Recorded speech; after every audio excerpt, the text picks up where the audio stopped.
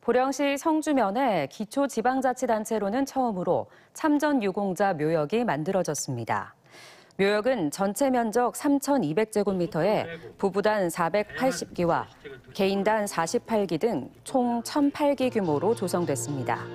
묘역에는 국가보훈처에 참전 유공자로 등록된 사람으로 사망일 기준 보령시에 5년 전부터 주민등록이 되어 있던 사람 또는 배우자를 안치할 수 있으며 현재 보령 시 내에 생존해 있는 참전 유공자는 6.25 한국전쟁 207명과 월남전쟁 420명 등 총 627명으로 알려졌습니다.